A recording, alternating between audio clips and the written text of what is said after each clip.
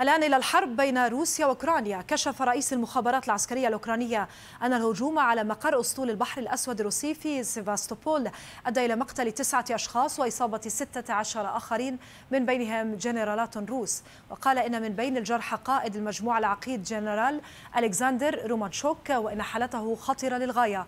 كما يعاني رئيس الأركان من حالة فقدان للوعي بحسب التصريحات الاستخباراتية. رئيس المخابرات العسكرية الأوكرانية أشار إلى أنه لا يزال جاريا تحديد عدد الأفراد العسكريين العاديين المصابين الذين ليسوا من موظفي المقر.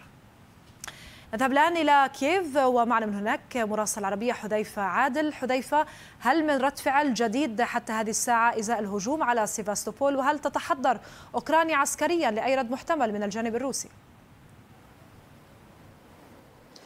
نعم نادين في الحقيقة اكتفت أوكرانيا بتصريح قائد إدارة الاستخبارات العسكرية بودانف الذي قال أن ريمان شوك في حالة حرجة وسيكوف فاقد للوعي. وبالإضافة إلى سبعة أشخاص آخرين من القادة الذين لقوا حتفهم عفوا تسعة أشخاص لقوا حتفهم في هذه الضربة وستة عشر مصابين بإصابات مختلفة. هذا فيما يخص هذه الضربة. اسمح لي أيضا أن أشير سريعا إلى أن أيضا الاستخبارات العسكرية تحدثت عن وضع قدم للقوات الأوكرانية في الضفة اليسرى في منطقة زاباروجا في بيروفافوي وهي قرية في الضفة اليسرى كانت تسيطر عليها القوات الروسية واستطاعت وبهذا عفوا تكون قد اخترقت خط الدفاع الروسي في تلك المنطقة وهذه ثالث مرة في مناطق مختلفة في قرى مختلفة تستطيع أن تخترق خط الدفاع في الضفة اليسرى. هذا بالإضافة إلى أنها تعقد كما قالت وتضرب العمق للاتحاد الروسي في اتجاه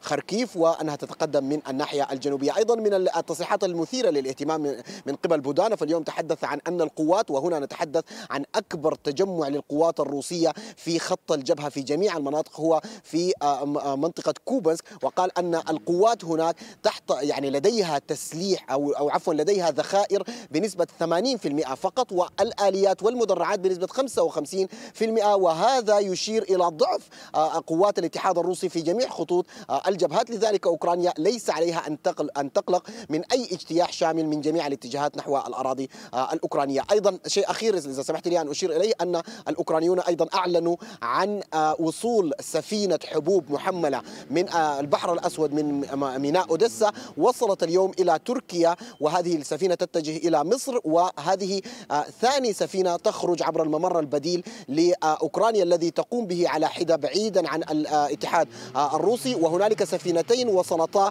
إلى موانئ أوديسا ورستا هناك والآن ينتظرون التحميل ثم العودة إلى وجهاتهم. وهنا نشير إلى أن الأوكرانيون قد قاموا بالفعل ب يعني ممر بديل للحبوب هو غير آمن طبعا وهو في كثير من المخاطرة ولكنهم يستمرون في تصدير الحبوب بهذه الطريقة. شكرا جزيلا لك على هذه المعطيات من كيف مراسل عربية حذيفة عادل.